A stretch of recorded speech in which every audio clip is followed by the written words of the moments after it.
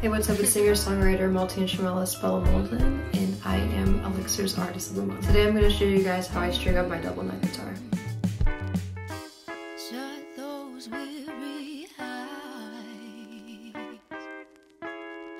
Everything will be.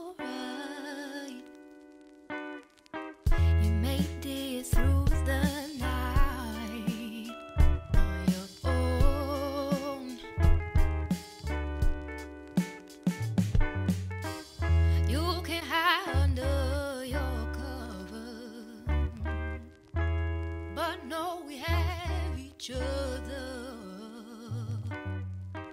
Sometimes